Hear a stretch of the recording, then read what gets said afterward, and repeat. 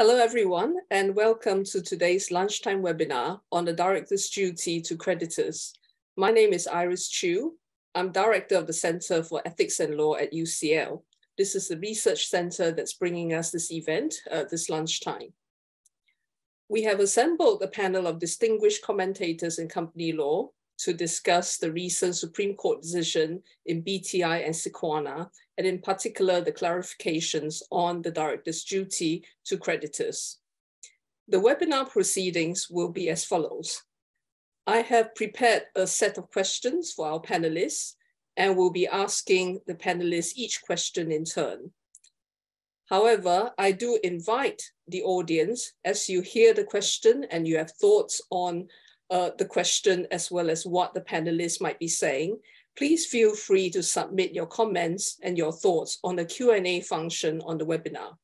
We hope to be able to gather these and address these at the same time that the relevant question is being dealt with.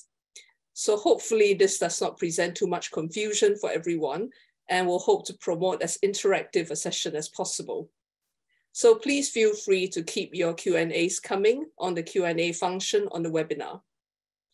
Before I start the proceedings, I'd like to make a brief introduction to all of our panelists.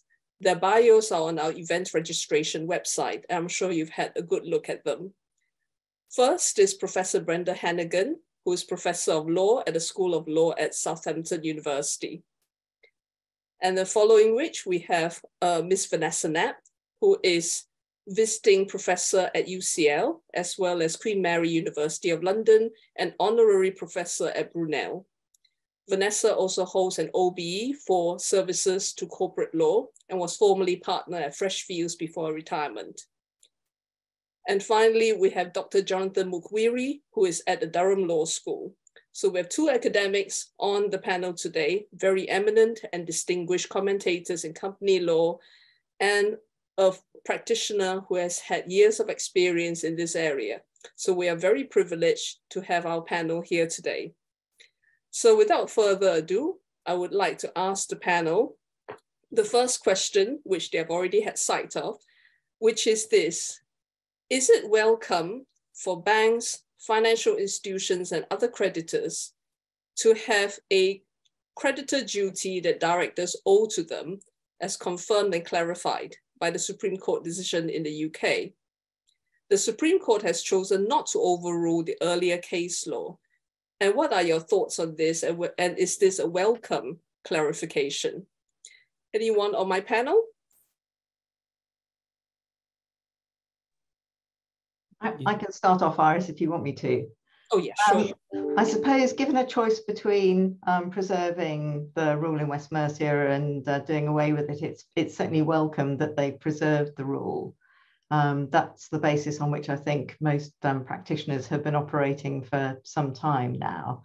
Um, but I'm not sure in practice that the decision will make an enormous difference to the position of the banks and the financial institutions. The big banks and the financial institutions um, can really look after themselves uh, and bargain for whatever protections they need in their dealings with the companies. And I think on the whole, they do a pretty good job on that.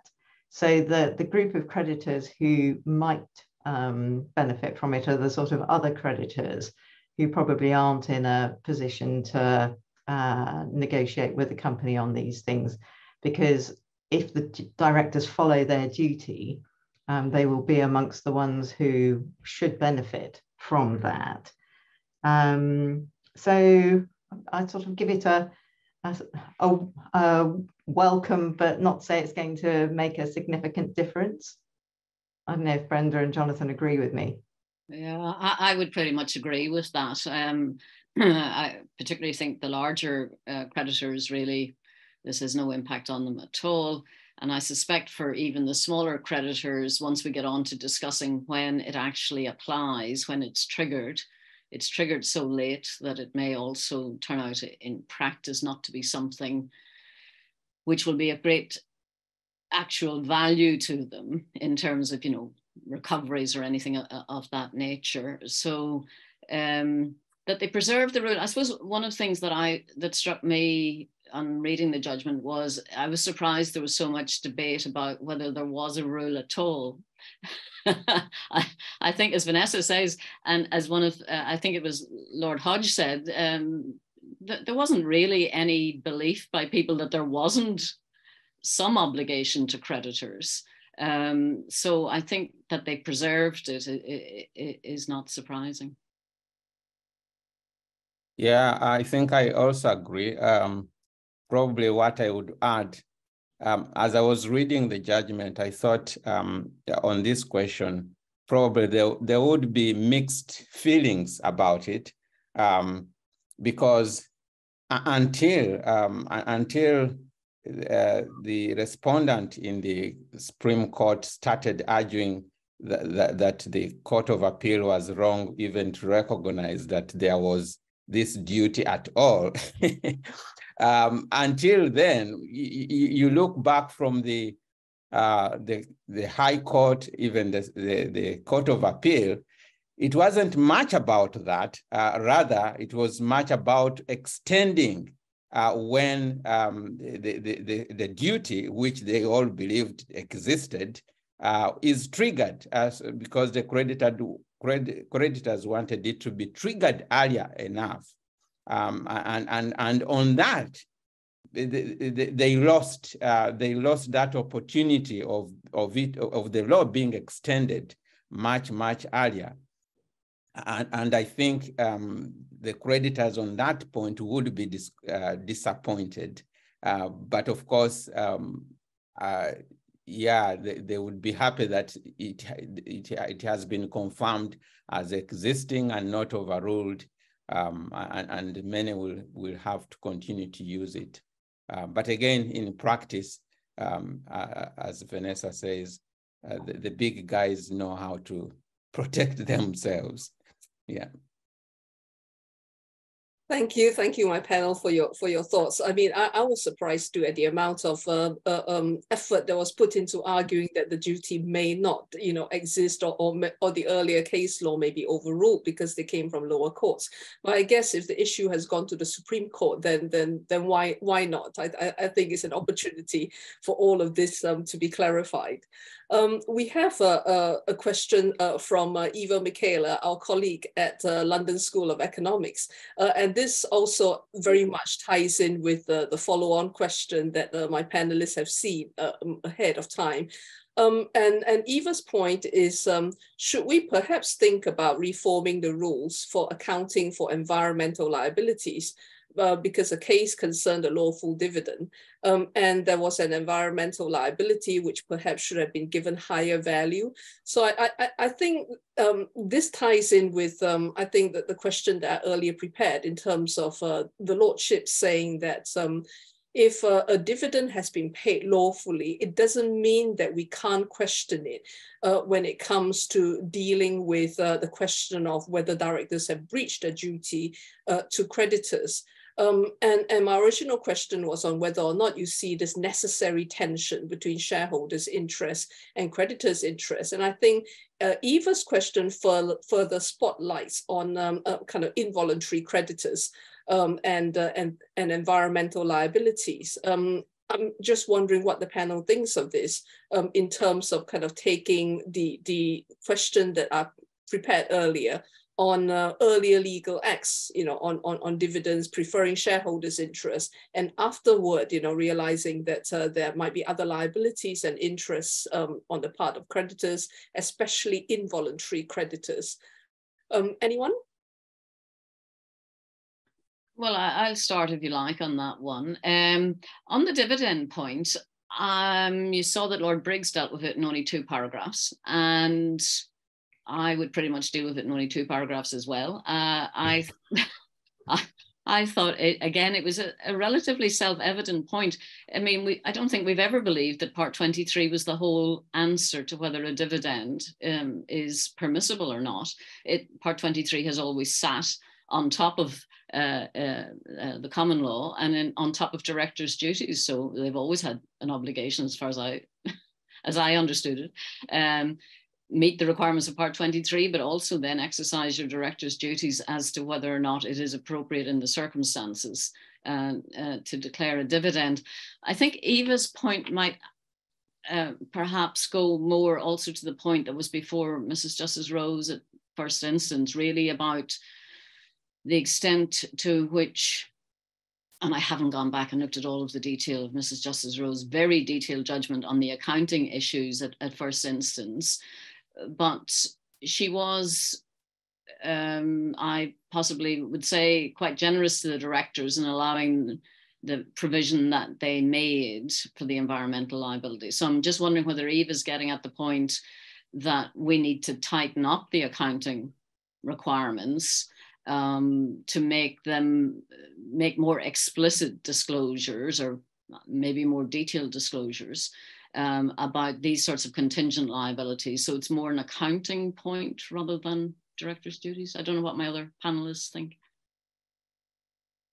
Yeah, I might um, add on to that. Probably, it, it probably might lend itself to what um, uh, Lady Arden um, talks about, the kind of holistic assessment uh, of, of, of, of the finances of the company and, and not simply balancing off at some point even uh, we will come to look at uh, when the duties, uh, the creditor duties triggered, but not only balancing the interest of creditors um, against the interest of shareholders, but she mentioned other stakeholders, employees, and maybe then that aspect of environmental liability might also kick in. And, and, and, and, and of course, this uh, uh, court uh, um, case was simply focusing on the direct, I mean, the creditor's duties.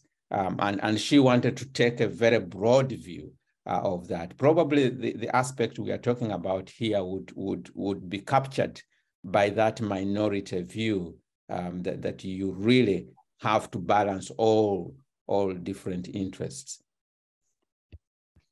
Yeah, I, I thought this was one of the helpful bits of the judgment in practice because um, I think on the whole, people tend to concentrate on the rules about do you have distributable profits or not, and um, not concentrate as much on the section that um, preserves the common law in relation to payment of dividends.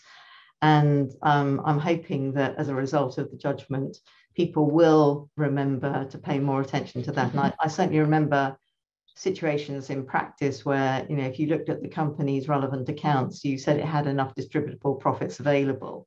Um, but then you had to point out to the directors that uh, either things had changed dramatically um, since the accounts had been prepared and they needed to take that into account, or that there was something that was going to happen and they needed to take that into account before making their decision on whether to pay a dividend or not. So I do think I do think that is helpful. It in a way it's less helpful because they didn't really say very much about how the, the duty interacts with the with the part 23 um, requirements. So to you know to exactly to what extent they are a restriction on what you can do. And then to Eva's question, I think the difficulty is if you're a director of a company and uh, you have, as they did in this case, a large contingent liability, um, which is very uncertain. It you won't know the outcome for some years to come. One of the things that really impressed me in this case was the amount of work that the directors had done to try and get outside advice as to what the liability might be and you know the insurance available to them to cover it and things like that. And for me in a way this is the sort of heart of uh, where we need to go following the case because we need to be able to allow directors to understand what they can and can't do.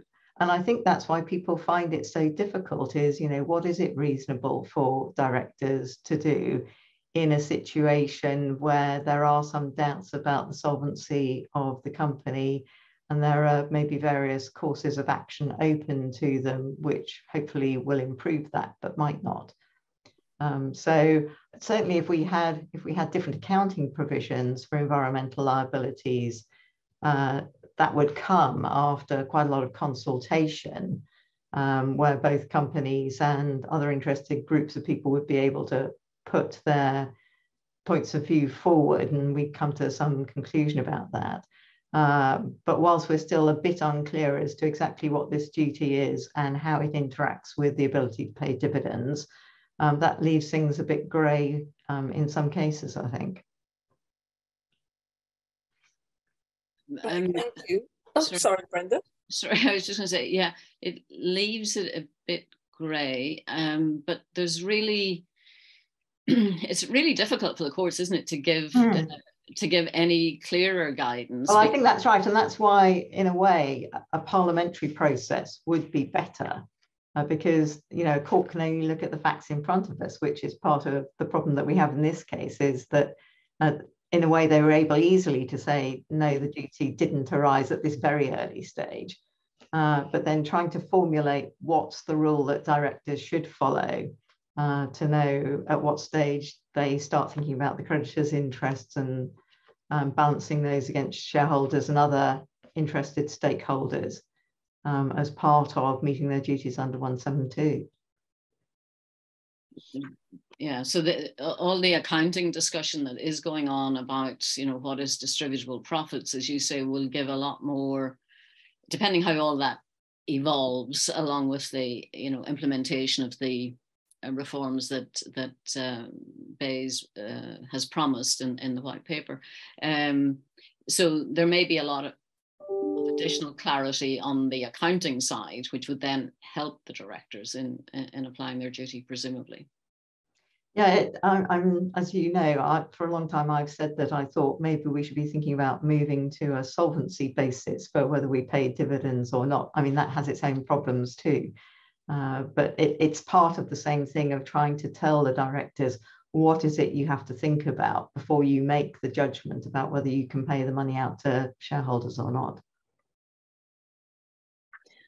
Yes, I agree with the the dividend issue is a is, is difficult one, and and it also implicates a whole you know kind of body of reform um, because um, the payment of dividends not only affects um, creditors and involuntary creditors especially, uh, um, but um, also other stakeholders, and and I mean we we can only be reminded of uh, the the sort of the, the BHS uh, debacle and um, the the decisions that were taken in in that case, you know, in terms of uh, how distributions were made and, and whose uh, interests were being preferred. Um, I have uh, another comment uh, from Stelios Andreadakis, uh, who is our colleague at Brunel. Um, and Stelios sees this decision perhaps as a reflection of the long-term perspective or vision that directors should have under Section 172. I think creditors are not expressly mentioned in the 172 list, but but I think I think there is this uh, um, certain theme, isn't it, in terms of how this decision is actually consistent, perhaps with the idea that the creditors are very much a part of the 172 uh, list of stakeholders that uh, directors must have regard for. But I'm just wondering whether you see this as um, adding creditors to the list, or are creditors placed in a different position from the list of stakeholders in 172? Um, what, what are your views? Well, I think in practice, people have always assumed that um, uh, creditors were sort of part of what the directors should be thinking about because the list isn't um, exclusive. Um, and for most companies, you know, they are a very important part of the company's ability to continue and do business. Um, and I did think that some of the things that are said in the judgment um, about taking account of stakeholders' interests were were quite helpful in thinking about the, the long term too. Um, most of that doesn't actually get as far as directors of small companies anyway. Uh, so you know, it's only the fact that that academics and practitioners um, pay attention to these things and then use it as part of uh, their advice to people who are actually doing this in real life. I, I suppose also the, the fact that um, really um, creditors' uh, liability or interest really kicks in when um, the company can't pay um, the creditors when uh, their, their money is, becomes due. Um, even being uh, being added to the list specifically probably wouldn't change much uh, because they would only be concerned that they can't be paid when their debt becomes due. Right, thanks, Jonathan. Um, we do have another question that's broader in nature, uh, Alex Jardine's question, but I think I, I, will I will postpone that to, to the end of the, the webinar because we have a, a similar kind of stock taking uh, question like that in relation to what this does, you know, after all, uh, for directors' duty uh, to protect creditors. Um, and, and, with that, I think let's um, kind of launch into uh, the, the, the, more precise content of the duty, uh, which is when the duty is triggered and whether we have any clarification on that and what the content of the duty is and how the Supreme Court decision uh, has helped. So on when the duty is triggered, um, the majority judgment takes the view uh, that the director's creditor duty arises at the same time uh, as uh, the section 214 Insolvency Act uh, point in time. That is, the director knows or ought reasonably to know that insolvency is uh, inevitable. Um, do you agree that that is the most sensible point in time? Any thoughts, my panel? I, I, I disagree with the view that it that it's um, uh, coexists with 214. Uh, my reading of the judgment was that it applies ahead of 214, that 214 only kicks in when there's no reasonable prospect of avoiding insolvent liquidation administration, that it is inevitable and that this is going to kick in at an earlier point in time. As you say, they used varying uh, wording, uh, imminent insolvency, know or ought to know that is around the corner, or probable insolvent liquidation or administration, um, or Lord Reed's insolvent or bordering on insolvency. So all of that is ahead of the point where they uh, realize or, or, ought to realize that insolvent liquidation is inevitable. So I think there is that small window. It's not the real risk. So we're not going all the way back to when there's a real risk. Um, they didn't like um, David Richards' formulae either, so they've brought it another bit closer. So to me, it's extremely close to 214, but it is actually ahead of 214.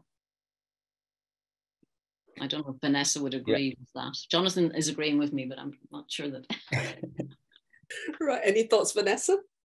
Yeah, I, I agree with Brenda too. I think part of the trouble is that as you read the judgments, it's it's a bit like trying to grab hold of a slippery eel.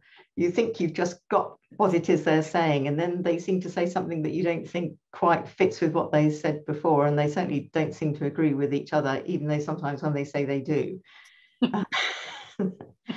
uh, but but I certainly think as a practical matter, um, if you were a director with, in, with a company in financial difficulties, it would not be safe to assume that this duty doesn't start to apply until you get to the stage where you're also at risk of liability under 214. Um, and if it did only kick in at the same stage, then you know what would be the point of it?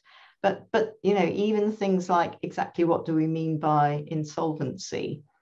they have slightly different views as to what that means. I think it's um, Lady Arden who says that you should take the tests in one, two, three and apply them flexibly. They were a good starting point, but you know, then, then add some flexibility to that.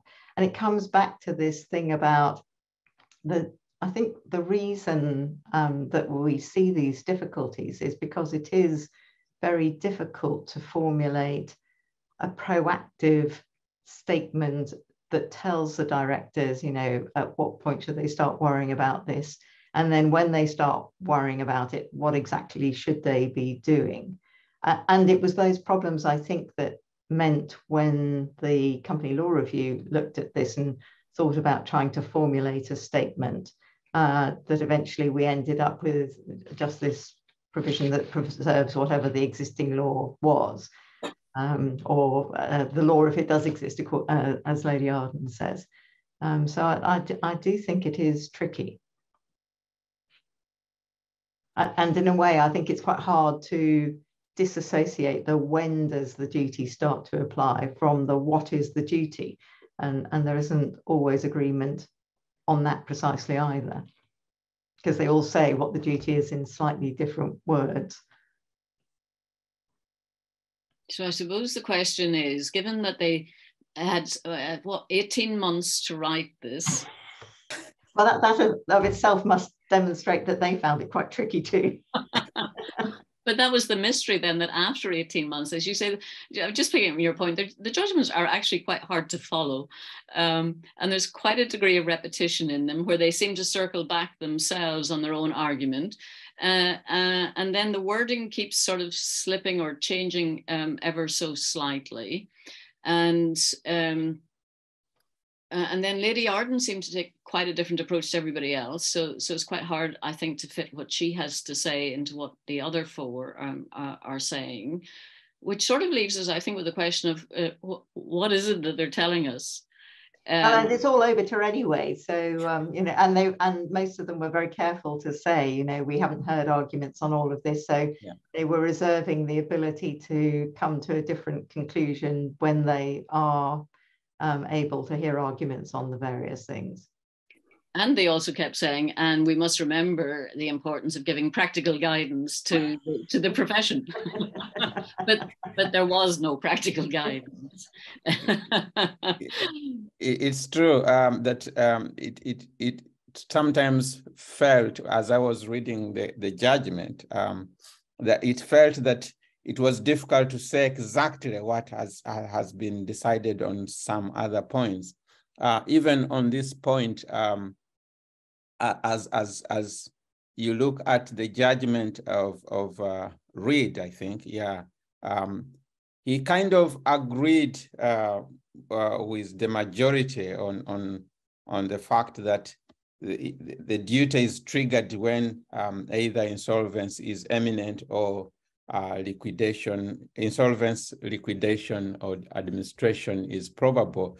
But then he, he didn't want to be drawn so much about deciding uh, whether it was essential uh, that the directors know or, to know. Mm-hmm. And, and the, the, difference is, is almost academic. so um, you would think, but but but there he, he, he differs, and and that slight difference you find in many other judgments on, on different uh, points they are making. Mm. Yes, Lady Arden also didn't want to commit herself on um, the knowledge question and wanted to leave that for another time. I wondered about that because um, I think uh, probably Jonathan's point, you know, does it actually make any difference? Because since their obligations under 174 apply anyway, um, I just wondered how they would knit together. You know, even if you don't say that the test is you knew or ought to have known um, of imminent insolvency, well, you knew or ought to have known the situation anyway by virtue of 174. Mm. So, so, I'm not sure there's much difference between Reed and, and Arden saying, well, we're not sure on that, and the others saying, well, you, it must be a case of ought, uh, knew or ought to have known because of 174. But yeah, I thought so too. And I thought um, the, the, the, the skewing of, of, of, of that by, by Reed um, and, and Lady Arden is almost academic, which I didn't expect of, of the judges to, to make a, a point about. Yeah, uh, in this respect, I, I agree with Brenda. I think I think I read the judgments as being tending towards ultimately something much, much more objective. And, and you know, I think I think you're all right in saying that directors should be really quite careful in the approaching stage.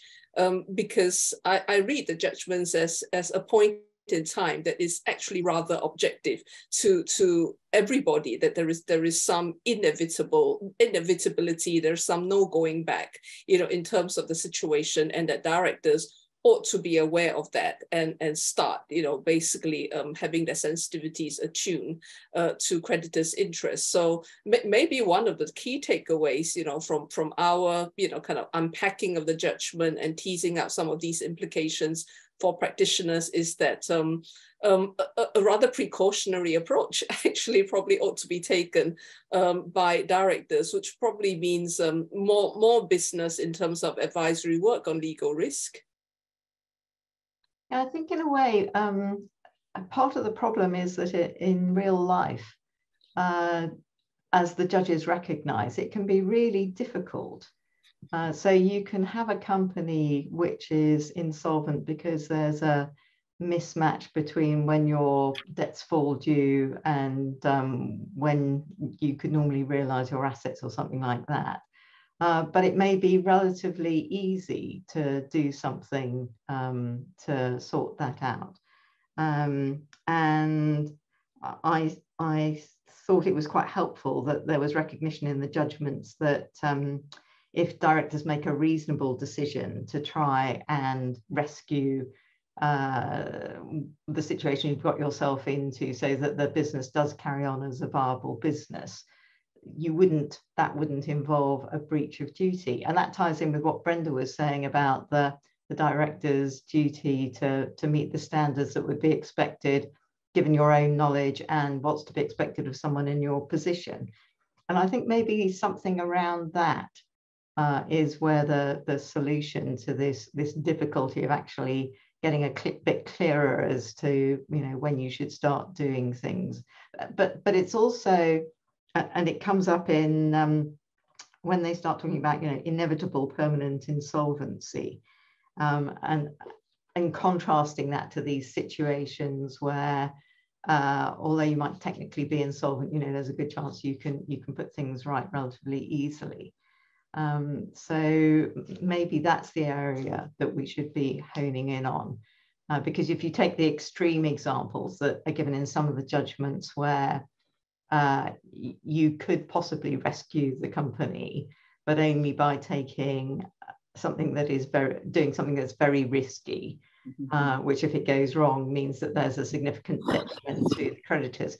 But you know, then you can tweak the facts of a, a bit from that and you can say well what about um, a situation where you could do something that's quite risky um, and maybe the detriment to the creditors it's a bit of a detriment but not that much of a detriment you know and those are the sorts of situations that the directors have to deal with. Um, but I thought I thought it was ultimately very favourable to directors in the sense there was quite a number of the judges made points about limited liability is there in order to uh, allow the transfer of risk to creditors. Creditors know this, they understand it, they've understood it in Salomon, um, and they must contract, etc., etc., etc. And and uh, you know the guardians of their own interests. There was also references to the importance of not fettering the business judgment of the directors. Um, uh, so when you when you and then moving the timeline, say very close to 214. So I thought actually um, that uh, for directors, it was sort of an acknowledgement of this will all be very difficult. Some of it could be temporary, some of it could be permanent. You may have solutions. Um, we're going to leave a lot of it to your subjective good faith and business judgments and management of risk really close up to the end. Yeah, I think, uh, um, sorry. Go on, Johnson, you get yeah, it. Um, yeah, and I think um, probably, uh, uh, I don't know if Vanessa mentioned this, um, it, it, it might boil down to the, um, the independent judgment for, I mean, uh, independent um, advice uh, that maybe they get um, so that when, when then it comes to to issue of liability, where, whether they knew that whatever action they have taken, whether they think this is temporary and when it's actually permanent, and they read the financial um, dip as, as, as temporary when it's not, or maybe they, they read uh, their examples in the, in, the, in the judgment about pandemic, temporary uh, event, which probably will go away if we simply push on further. If they have misread all that, um, I think it strengthens uh, the, the, their case as directors if they have independent um, advice and they have consulted some other professionals and they could show that, that they, they really took that into account.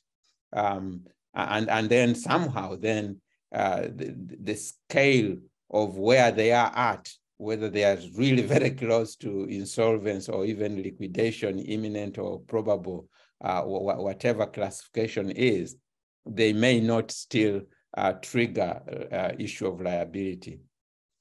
Yeah, I certainly think getting independent advice is going to be um, very helpful to anyone who finds themselves in this situation. And for the bigger companies, um, you would hope that that's what they do. For the smaller companies, um, maybe they're less likely to do that.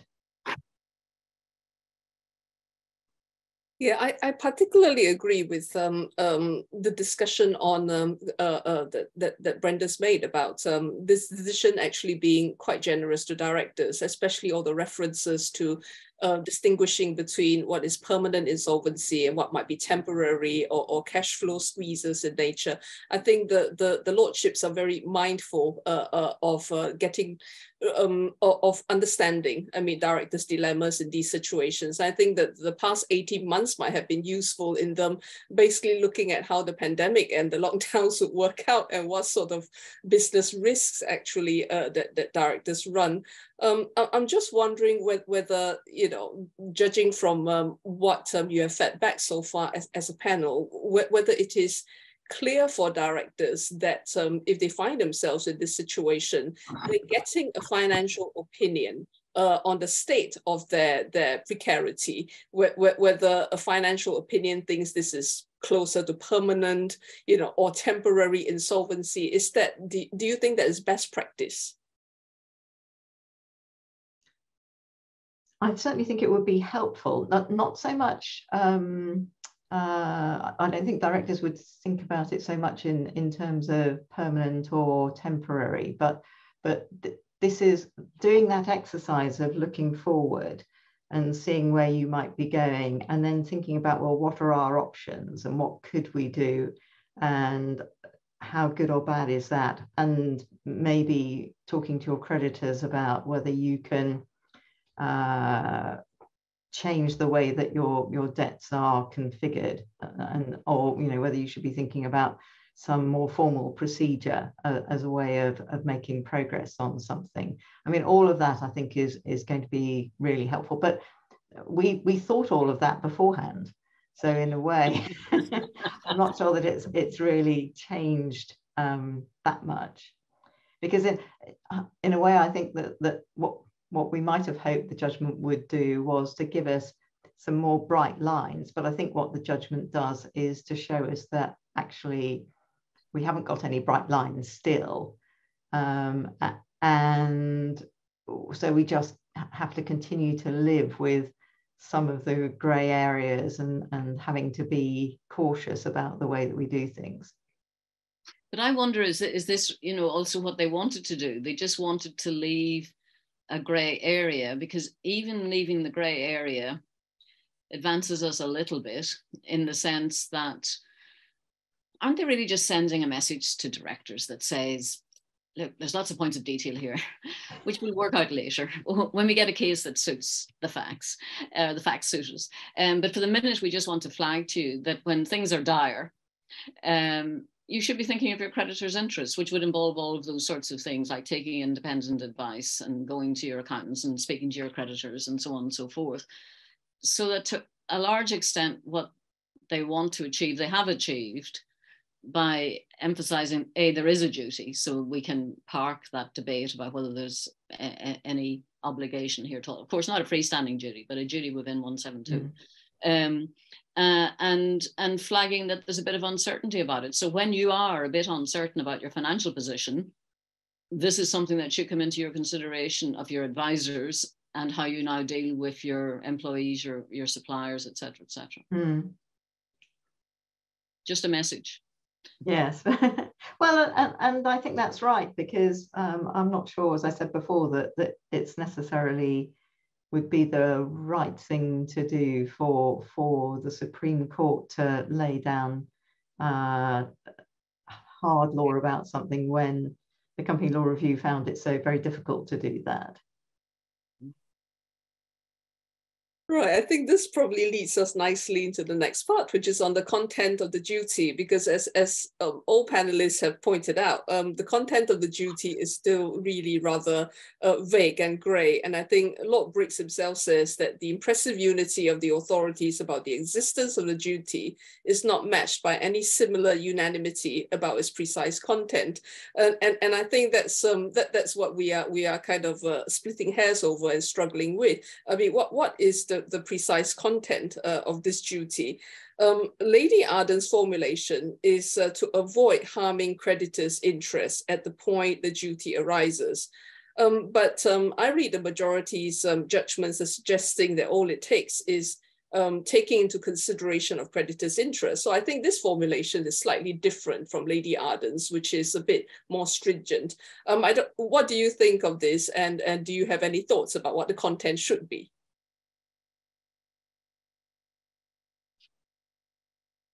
Yeah, I'll probably um, start off that.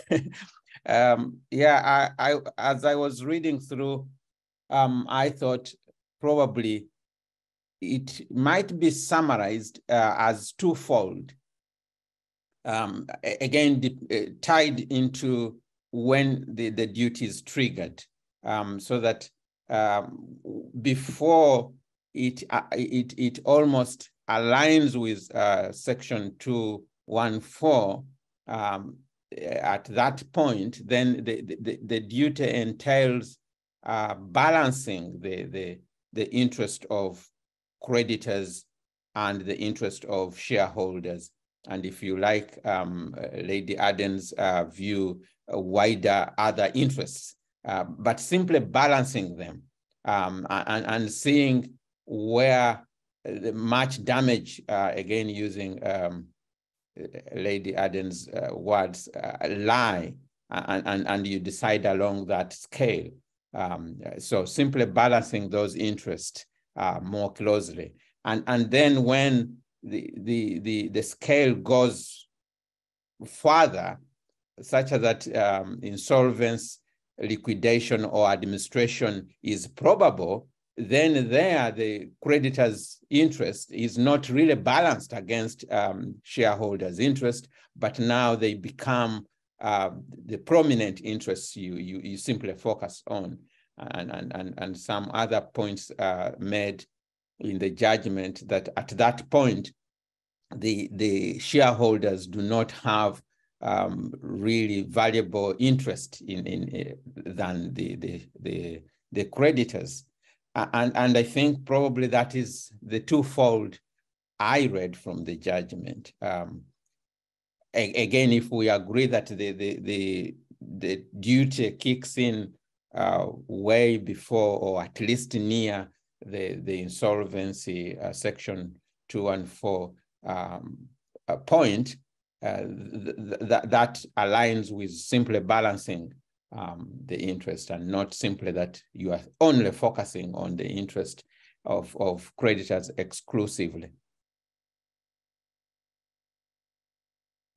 Right, uh, very interesting in terms of kind of the degree of intensity. I think I think that that very much is reflected Lord Reed's judgment as well as he as he talked about the greater intensity of consideration for creditors' in, interest um, as um, as directors become much more aware clearly that permanent insolvency might be inevitable. Um, just wondering what my other panelists think uh, of this approach. Well, I mean, I think this is back to what I was saying about it's quite favorable to uh, directors because it says, you know, weigh them up, balance them, consider the position, the financial position you're in. Is it rapidly deteriorating or whatever? Um, uh, and then exercise your business judgment as to what you subjectively think is in the best interest um, of the company in that extended way that, that we're now doing. So, um, this is where I think I think Lady Arden's is much further along, and I, I didn't see any support in the other four judgments for her point about you must a positive duty that you must not take steps to uh, how did she phrase it to uh, to harm they must avoid harming creditors' interests. Um, I think that would actually uh, involve a degree of priority to the creditor which is not suggested by the other four. They all say that there's no paramount duty to the creditors until 214 um, uh, is triggered. So uh, I think she, her formulation is, is much narrower, um, but it's not one that seems to have appealed to the other four. So I think she's definitely in the minority on that. Yeah, and I think, um, as I said earlier, that, that it's a question of the, the time of when the duty applies and it, what the duty is.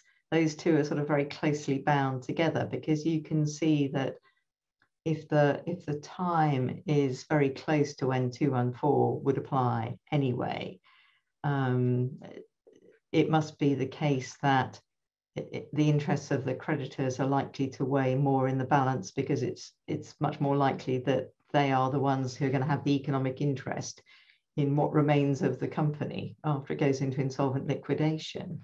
But if you if the time at which the duty is triggered is earlier, and the more it, it's earlier, the, the more it seems reasonable to say that that what you should be doing is you should be thinking about shareholders and creditors' interests as well as all the other stakeholder interests. But but given that we broadly seem to think that under 172 you should have been thinking about all of that anyway. Um, and as, as we agree, it's for the directors to decide how to balance those competing interests. And that, I mean, they, they do talk about um, creditor interest increasing as the financial problems get more serious. Um, and so you get this sort of sliding scale idea. But part of the problem is that that life isn't like that. It isn't a sort of beautifully calibrated scale where you can tell how far along the scale you are, and all the time you're what you're doing is you're balancing different risks and possibilities and trying to make difficult judgments about whether something will or won't work and whether you'll be able to get people to agree to things. So it's it, it would be nice to be able to reduce it to a simple formula, but but it, it's difficult. I, I do agree. I think Lady Arden when she talks about protecting creditors from harm. And I think she goes as far as to say not omitting to do something that would, you know, be for the benefit of the creditors. And I, I was a bit worried about that because it wasn't exact, very clear to me exactly at what stage um, that requirement would apply. And I think that would that could make life very difficult for directors. Right, thank you, thank you all for this. Um, I, I think two two final questions on on kind of the, the broad appeal of, of this judgment, uh, and one tying in with uh, Alex Jardine's question that has remained open until now, uh, which is um, what does a creditor duty actually do for for, for creditors? Um, does it does it fill a gap? You know that uh, that is truly problematic at the same time. Um, and and Alex thinks that uh, to what extent do you see you know this judgment as actually a missed opportunity to extend the protection of creditors? So you know from the creditor's point of view, um, perhaps this judgment doesn't seem to be you know too too generous uh, um, for for them, and and and we can we can see why why as well. Um, and any thoughts on that? Yeah, I, am not sure whether whether um, they set out to um, try and achieve something other than uh, other than answer the question in front of them. Although perhaps Lady Arden's long discourse on the background to how Section 172 came about suggests that she wanted to make sure people understood what her views were about 172 and how that worked. Um, and I do think there are there are some things that are said in the judgments that are quite helpful about how we think about directors' duties generally. Um, but I suppose the practical points that I would take from it are that um, if you want to avoid having to worry about this area, the first thing is make sure you've got good up-to-date accounting information and you look at it um, I think it will, it if people follow what's said in the judgments, they would also be more careful about the process they follow once they think they're getting into financial difficulties, because they need to be able to demonstrate that they are thinking about the balance between creditor interests and shareholder interests. And for lots of people, they're more likely to do a better job on that if they take some professional advice, I think. Um, and also that means that they'll have the benefit of being able to test what they as individuals think against uh, the independent uh, assessment of professionals who practice in this area and maybe have more experience than some of the directors do. Um, and, but I think that the $64 million question is um, when is it reasonable for the directors to take a risk to keep the business going and rescue it? Um, and how do you work out whether the creditors are going to be worse off, the, the um, insolvency deepening that they talk about in the judgments. Uh, so, you know, that, and, and how much practical help you get with that, I'm not sure. Any other yes. thoughts, Brenda or Jonathan? Yes, Jonathan. Yes, I, I thought um, probably what it it really does um, uh, the, the credit duty really does to the creditors in comparison to other uh, insolvency provisions it is simply bring um, go back a little bit, uh, just a little bit, um, when these other provisions hasn't kicked in, that, that there is a small window in time where the creditor duty can kick in. And then they can always have ways of looking at the actual uh, um, facts of what has happened to see whether they can fit th that into, into, into this duty uh, before the other insolvency provisions kicks in. So it gives them something to, to argue about that, that, that there is something here and we can claw back whatever amount we can get. Um, but that is always going to be difficult uh, because of the subject, subjective analysis that might be put on what exactly the directors did and knew and, and, and what advice they took. Yeah, I, I, I would agree with that. And as, as I said earlier, I think really this is more of a message than than anything else. It's it's a flag to them. Um, that what we want is engaged, informed directors who are exercising care, skill, and diligence, aware of the financial position of their company, and we appreciate their businessmen taking business risks and women and uh, business risks uh, in a context where everything is moving quite quickly and there may be different options available to them and so on. And therefore, we will of course, respect their bona fide decisions and their business judgment uh, in this context. As to whether anybody will enforce this, I think we'll find again that it will usually only be in egregious cases where not only have they not prefer not acted in the creditor's interest, but they have acted to prefer themselves or connected creditors in some way. Um, and, and then you just say, well, this is really covered by 239, why bother? Well, you saw most of the judges explained why this is actually wider and more useful in some ways than 239. So it may actually just provide another weapon for a liquidator uh, in uh, those sorts of um, egregious cases. But you wouldn't expect to see many directors being uh, sued for breach of this um, expanded duty as, as now identified in uh, Sequana. Right, thank you very much. I, I think my, my my final question um, really has to do with the the other side, and that is, um, you know, looking at the point of view of people who might hope that this decision would give more ammo to, to creditors. Uh, it seems as if uh, di directors are, are, given a bit more breathing space. So would you agree that um, the legal risk for directors is not really significantly increased actually, and, and nothing more than what's really expected under section 172 anyway? Um, any thoughts on that?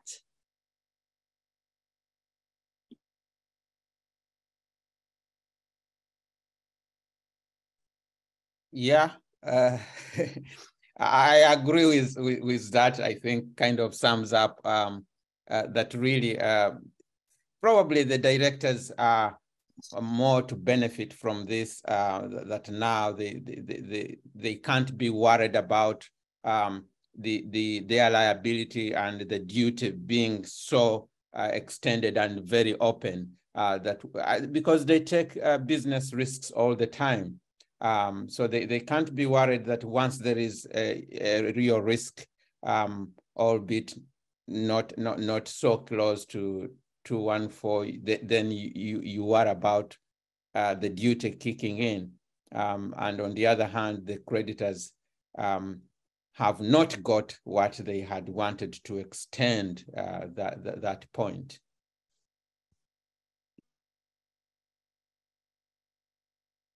Right, does my, do my panelists have anything else to add uh, to, um, I think we are about five minutes to the close. Any general thoughts on uh, perhaps the achievements, the gaps, or what else you might like to see, you know, in the development in this area of jurisprudence? Well, uh, can I avoid that question? I will leave that to Vanessa um, and, and, and answer a different question, which, which is, is there anything else we'll comment on? The only other thing I would pick out from the judgments is it's also very pro-shareholder, just as it's, it's you know, I think very supportive of directors' business judgment. It's very supportive of um, shareholders. I think uh, in making two particular points. One, that the shareholders' interests do not become irrelevant until insolvent liquidation is uh, inevitable. So the shareholder interest, even though there had been some discussion in the cases as to whether it fades away earlier than that, is in existence right up to the moment of insolvent liquidation. Um, and you also see that point reflected in their um, point that Lord Briggs made about we don't want to have real risk for lots of reasons, but in particular, we don't want to have it because it would infringe on the shareholders' ability unanimously to um, to uh, uh, approve acts as acts of the company. So both of those are, are strong shareholder primacy type points. I'll leave Vanessa to deal with the creditors. well, I think I suppose I I would say I, I don't think it's a missed opportunity because um, I, my my view is that it wouldn't have been right to go down the real risk route. Um, and I, I say that because I think all business involves taking risks. And so I go back to my question about at what stage uh, does it become unreasonable for the directors to take a risk to try and keep the business going as a long-term sustainable viable business.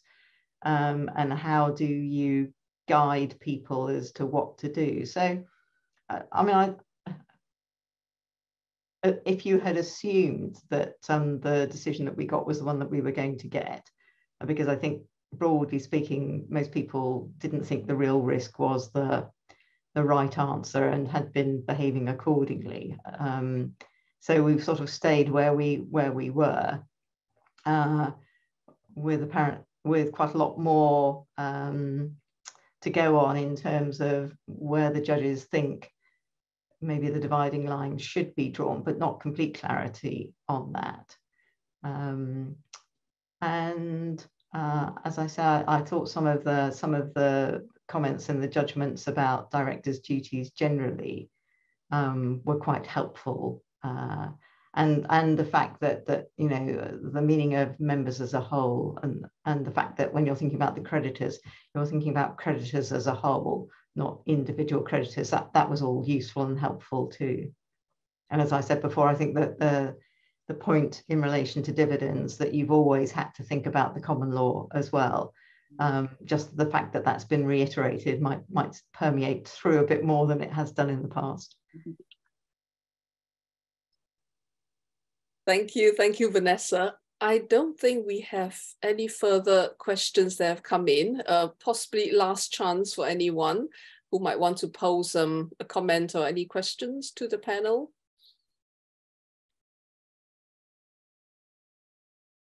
I mean, we've had a number of uh, colleagues from other institutions join us uh, and a number of students as well from our company law classes. So this has been immensely helpful uh, to everyone elucidating this judgment. Um, I mean, it, it, it is long, uh, but I think that the difficulty with this judgment is how is how gray it is and how vague sometimes things are, and and um, and as all of us have have grappled with it, but we have kind of made sense of it as to why it needed uh, to be somewhat gray and somewhat vague as well. Uh, but thank you all today for coming onto the webinar and giving your views and, and, and, giving your thoughts. I'm sure everybody here has benefited greatly from this.